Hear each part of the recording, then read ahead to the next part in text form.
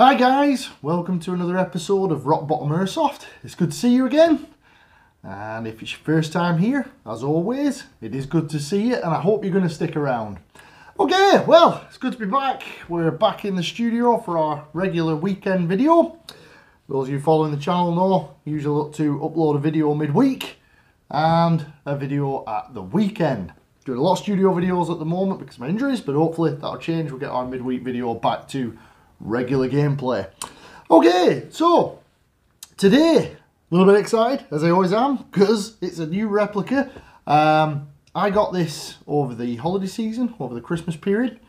Um, this is a G&G Piranha, and I thought what we'll do today is, is we're going to unbox it, have a look what you get, um, have a quick look round the replica, have a quick chat about it, some of the things I've found out about it and then we'll go from there. I'll run it through the chrono for you guys so we can see how it performs over the chrono. Uh, but as many of you that follow the channel will know, my true test of replicas I think is in the field um, and as a regular skirmisher, anything that I review on here, when I'm back in the field, when I'm in game, I will try it in the field and see how it performs. And I think that's the real test of any replica it's easy enough for me to fire it here uh, in the studio and it performed well, but in cold weather, rainy weather, out in the field when it's getting bashed about and you want it to perform, uh, that's, that's the real test. Um, so as soon as I can get back out in the field, obviously anything I've covered in the channel, I will get gameplay footage of it up with me actually using it in the field and then at some point I'll normally try and do a follow-up and let you know how I think it performs in game and whether it's a long-term thing that's going to work for you. So this one that we're looking at here, this is G&G Piranha. This is how it comes packaged uh, if you do decide to buy one. Um, it's in a nice hard case. This hard case is included as part of the packaging. Um, this is how you get it. It's sealed up with a G&G seal here that just says Piranha Mark 1 on it and a barcode, obviously G&G's insignia. I particularly like this hard case. I really like this G&G insignia being in the top. I think it's a nice hard case. Uh, if you were looking to purchase one of these replicas, from the research I've done, I've managed to find them for between 170 and 180 British pounds. Now to me, that's at the upper end of, of cost for a, an airsoft pistol, uh, for a pistol replica. It's getting more towards the more expensive end of the scale. Um, but again, you know, it depends on what your budget is, what you're looking to spend, whether it's going to be a primary for you or whether it's just a secondary. I decided I was going to treat myself to one of these. I do like G&G products in general. Um, so with that, I thought we'd give it a go. So this is the hard case, as I say, very nice hard case that it comes in. Let's take this seal off and uh, we'll have a look what's actually in the hard case, what you actually get for your money. Uh, let's get this all the way off. Oh, it's going to leave a mess on there. There, we'll take it partially off for now. I think I'll have to get that off with some soap. So it's got two clip fastenings at the front that also have G&G written on them. And as we open up the case, what do we get? Okay, well it is a nice case, um, very nice. You've got Piranha Mark 1 on a little label here inside the case. You've got the replica itself, you've got the magazine itself, and you also have a pistol style speed loader. Um, these speed loaders very similar to any speed loader you'd buy normally. It's got the attachment on there for making pistol magazine loading much easier. There's a very nice clear plastic on it. Uh, looks very good quality as speed loaders go. But again, uh, nothing too exciting with the speed loader. But it's nice that they include one in the box so that you're good to go. Now, as well as that, you also get this, uh, which is it's a replica 9mm looking bullet on a keychain. However, you'll notice that the design of the bullet is, is strange on the end there, and that's because that's your hop-up adjustment tool. We use that for adjusting the hop-up, and we'll have a quick chat about the hop-up in a short while. So you get that included in the packaging as well. As well as that, we also have our instruction manual. Now, this instruction manual appears to have been folded. So it's a very nice instruction manual. It's nice and glossy. As with all G&G products, they do usually do a good job of their, their instruction manuals. Got a picture of the Piranha Mark 1, same Piranha series on the front of the manual. Oh yeah, it is. It's a lovely manual. Um, I don't know how much you can make out on camera there, but it's got instructions on how to load green gas, a diagram of the pistol itself, where you find all the controls, etc. And this is the English section come in multiple languages. Instructions there for stripping the pistol down, stripping the slide, lubrication, so on.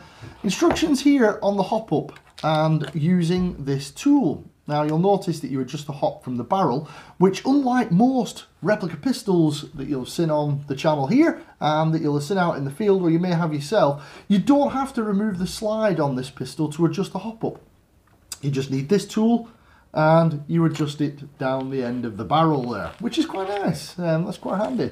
Instructions on how to load the magazine and all the rest of it in different languages. So that's that's where your English instructions end really. But again, there's plenty there instruction wise. It gives you a good breakdown at the back of the manual. We've got a breakdown of all the parts, part numbers, should you need to order spurs, which is always nice. I like it when part numbers are included. At the very back there, you've got the usual don't shoot yourself in the face, don't shoot other people, you know, all the usual things. Don't run around in public or go to your local bank it strapped to yourself, that type of thing. Sensible stuff that you shouldn't do, but they include those in the manual. So that's the manual. Nice manual, nice glossy manual. I do like it. Um, it's good that they include all those details about how to strip the replica as well, because in a lot of cases they, they don't include that information in manuals. So it's nice that they do that. Now the magazine here, I believe holds 25 BBs, 25 rounds. These magazines are not compatible as far as I know with any other pistols. These are specific for the Piranha. I've had a look around for prices on these magazines and they can vary but on average you're looking around about 30 to 35 British pounds for a magazine. So again, magazines not the cheapest. They are gas mags which as many of you will know gas magazines are, are never particularly cheap. Um, but yeah, they're, they're more at the upper end of the cost of magazines, I would say, compared to a lot of pistols that I have. So that's also included in your case is one magazine that holds approximately 25 rounds, which yeah, for a double stack magazine, that's about average. And then we get to the pistol itself. What I think we'll do is, is as usual, I'll give you a quick tour around the pistol, a quick look around it, um, and then we'll have a quick chat about how I think the pistol feels, how it looks, the rest of it. Okay.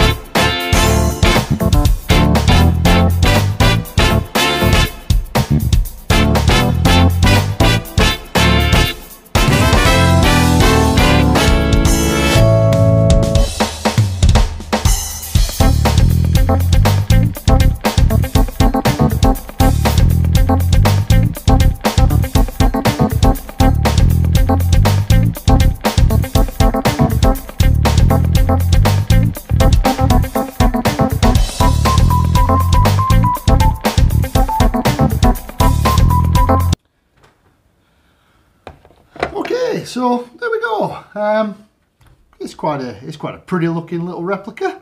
I think it's quite nice. Um, I quite like it.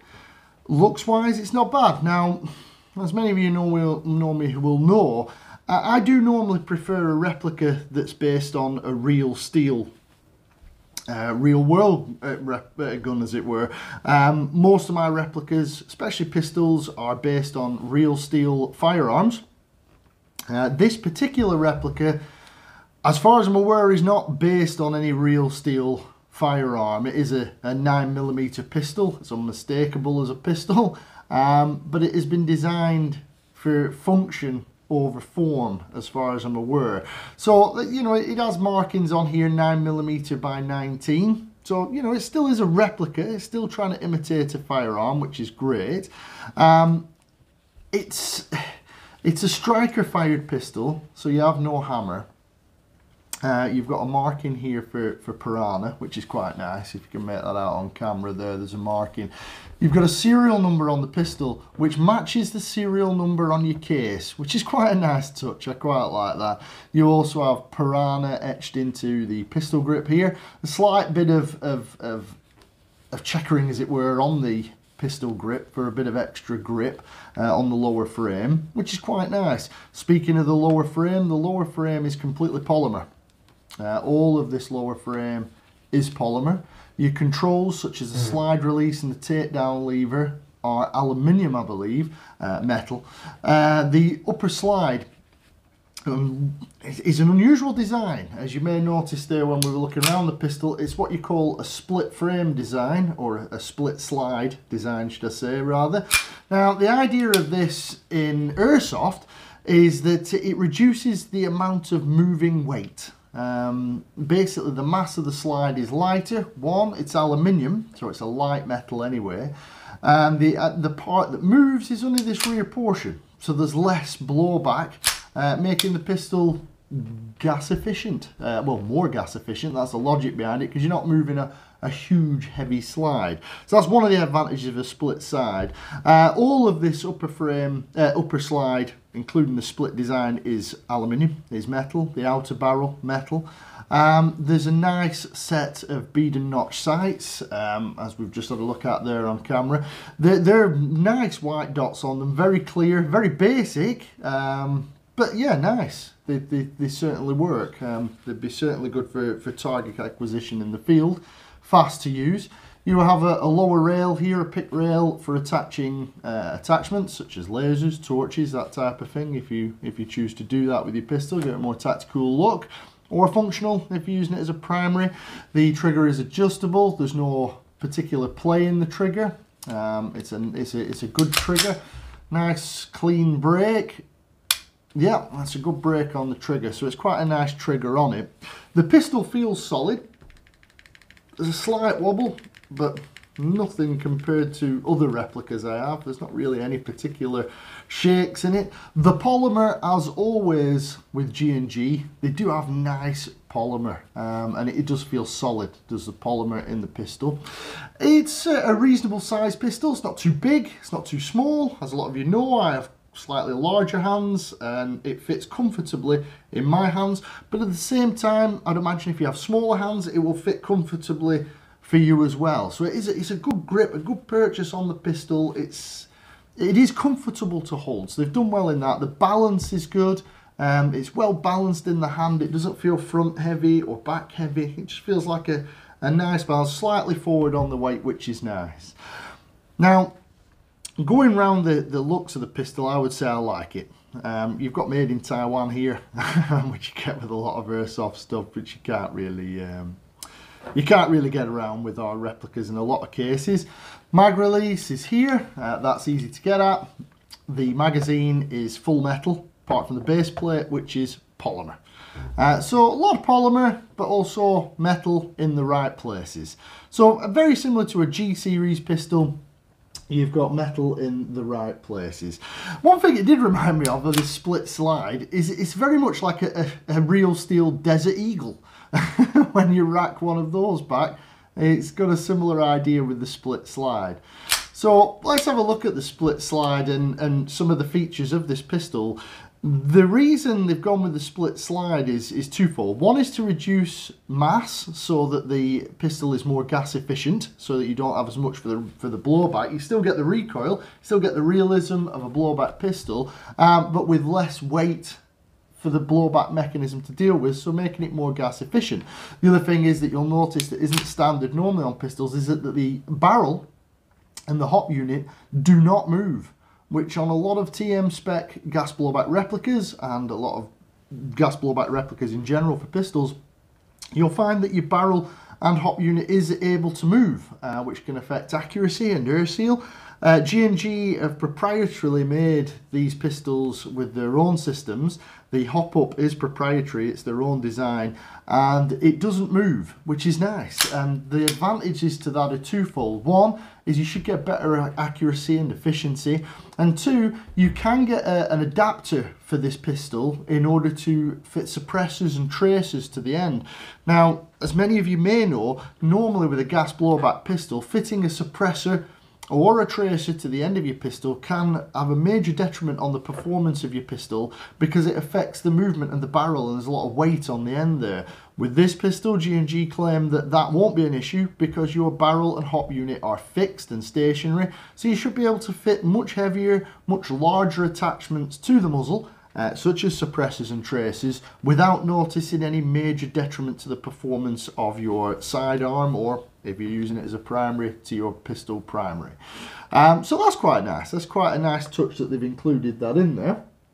Now that's one part of the priority system is the hop unit. Um, now as we say it's an unusual method of adjusting the hop. You get this tool included. You can remove the slide and adjust the hop as normal. But with this you just put that in the end of the barrel, twist, and that adjusts your hop with a nice smooth click uh, for the increments on the hop unit.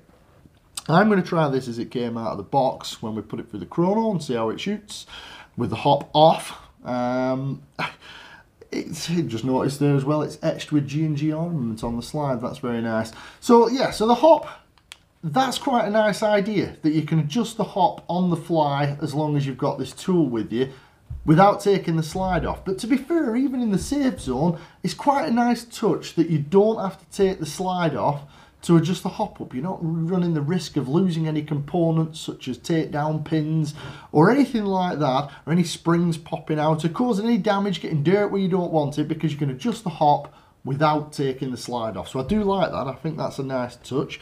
As I say, the performance of that hop up will be tested more when I get it out in the field and I use it in game. But so far, I quite like the idea of that. Now that's not the only new feature that's on this pistol. As with a lot of the G&G pistols, they have developed their own gas system, which they claim will give you less cooldown effects. And as some of you know, cooldown is when you're firing a lot of rounds quickly, the gas becomes cold, it can cool down parts, and your performance can drop. Uh, they say you get less of that because of their proprietary gas system. They also say that it's more gas efficient as well. So you, you, you know your green gas should last you longer, more magazines per gas up as it were.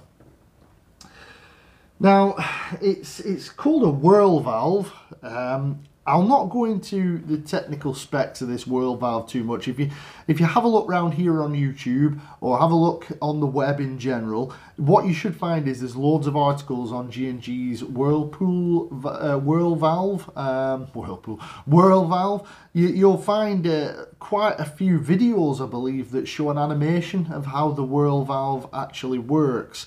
Um, whether it works in practice in the field, that remains to be seen, because obviously I'll use this in the field and let you know. Um, but, you know, the claims are that this whirl valve increases your gas efficiency, so your gas lasts longer, reduces cooldown, and all round works better. So that's that's another feature that G&G have included with this replica.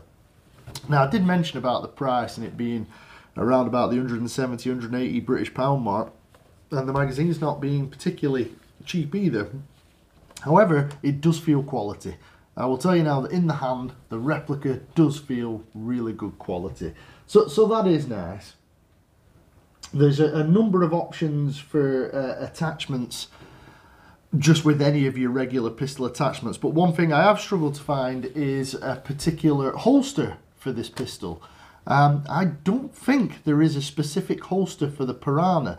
Now, my research has let me down on that one, but if any of you guys know of any holsters that work particularly well with the Piranha Mark 1, then please let me know in the comments because uh, that would help me out and it might help some of our fellow viewers out because uh, I am currently looking for a holster for it. Uh, so let me know if you do run one of these what you use a holster or if you've had any success in seeing holsters for this. At the moment I'm going to be looking at universal holsters to holster this, this replica um, but if you know of a specific one for the Piranha then do let me know in the comments Uh, another thing I noticed is, uh, that I always love on my pistols is a lanyard um, loop. It's it's not got a, a, an attachment for a lanyard. Looks like there is a place you could put a clip-in item to put a lanyard on there, but uh, we, we don't have one on this. So that would be something that would be useful as well. So I might look into that. So I think what we'll do now is we'll run it through the chrono and uh, see what you get on the chrono. And uh, it'll be my usual 0.25 gram BBs, uh, green gas. I think I'll be using WE green gas. And we'll see what kind of results we get with the with the green gas, see what it chronos at. And then we'll do a quick sum up so bear with me, I'll stick some BBs and some gas in this magazine and we will see what she can do. Okay guys, so like we say, it's a WE Green Gas 0.25 gram BBs going through the Xcortech Mark III Chrono. Let's see how we get on. 279. Oh, misread. 268. 264. Misread. 259.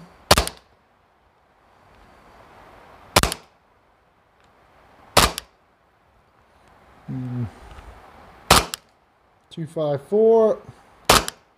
253. 250. 256. 249. And the pistol did lock back which is nice.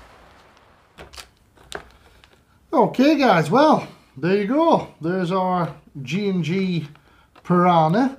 Like I said, just a quick overview today. Um, just an unboxing, quick look at it, see what we think.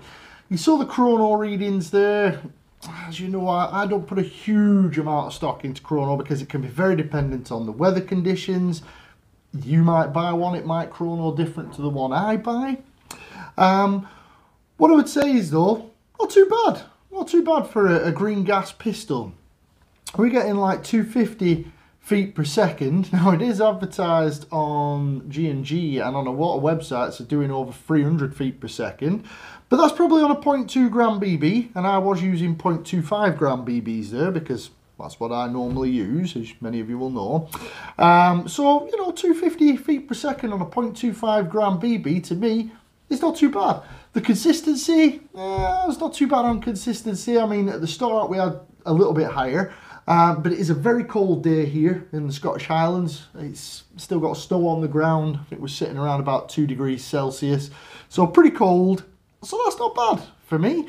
We only put a few rounds through it there just to try it out. It locked back, which is great. Um, got a few misreads on the chrono, but that's probably my error. I'm still getting used to this particular chrono. Um, but again, 250 feet per second, that's more than enough for a pistol replica for me on a 0.25 gram BB. Um, probably get better in summertime with warmer weather, but yeah, it shot okay, nice solid recoil impulse on it, felt good in the hand, and as I say, the chrono readings aren't too bad at all. So I got this particular Piranha from my home site, Tazball Airsoft. So if you find yourself at a game, don't forget to check out the shop at Tazball Airsoft. They've got loads of gear in there.